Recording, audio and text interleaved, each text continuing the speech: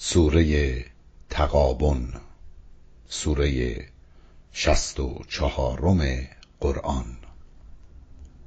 به نام خداوند بخشنده مهربان. آنچه در آسمان ها و زمین است تسبیح خدا را می‌گویند.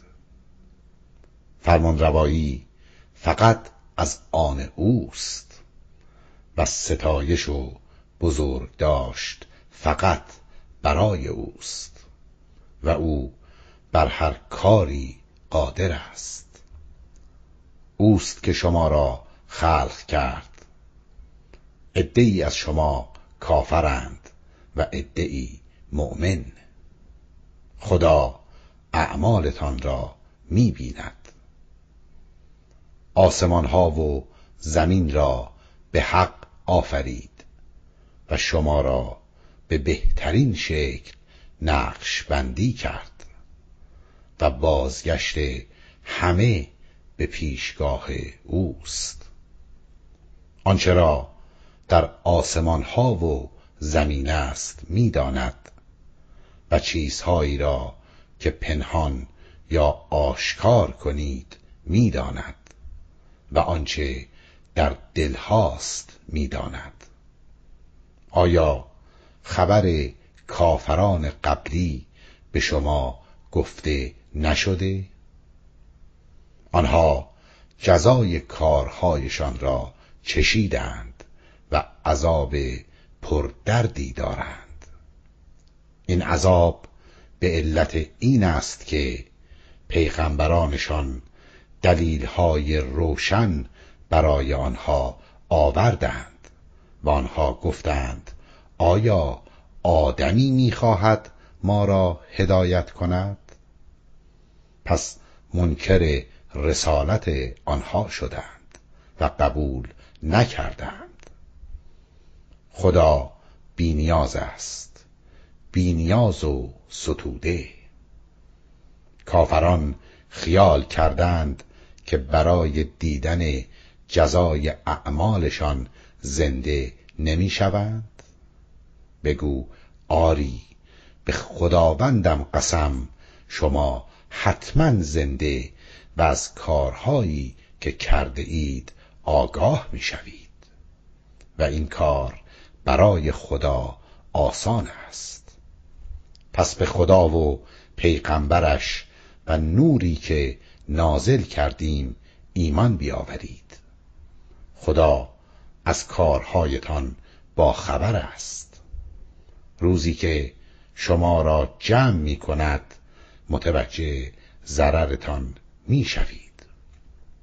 کسانی که به خدا ایمان بیاورند و کار درست بکنند خدا گناهانشان را می بخشد و آنها را وارد بهشت هایی می کند که در آن نهرها روان است و همیشه در آن خواهند بود.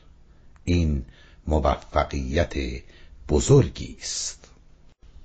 و افرادی که ایمان نیاوردند و آیات ما را دروغ پنداشتند یعنی دستورهایی را که خدا در کتاب الهی برایشان نازل کرد قبول نکردند.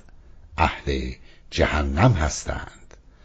و همیشه در آن خواهند بود. و جهنم بد جایی است. هیچ مصیبتی به کسی نمی‌رسد مگر به فرمان خدا. یعنی مطابق قوانینی که خدا در خلقت گذاشته. کسی که به خدا ایمان بیاورد خدا قلبش را هدایت می کند خدا هر چیزی را می داند از خدا و پیغمبرش اطاعت کنید. اگر از این کار خودداری کنید وظیفه پیغمبر ما فقط رساندن آشکار رسالت ماست. خدا معبودی یعنی کسی که انسان در مقابل او احساس و ابراز کوچکی کند و از دستورهای او بدون چون و چرا پیروی کند غیر از او وجود ندارد. افراد با ایمان باید فقط به خدا توکل کنند. ای افراد با ایمان بعضی از همسران و فرزندانتان دشمن شما هستند. از آنها حذر کنید. اگر آنها را عفو کنید و از گناهانشان درگذرید و ببخشید خدا هم آمرزنده و مهربان است. مال و فرزند شما فقط برای امتحان شماست. در صورتی که پاداش بزرگ پیش خداست.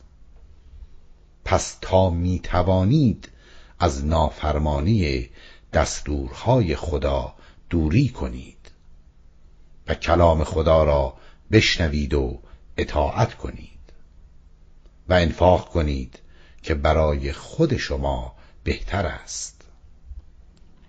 کسانی که جلوی خسیس بودن خود را بگیرند موفق و رستگارند. اگر قرض خوبی به خدا بدهید آن را برای شما چند برابر می کند و شما را می آمرزد.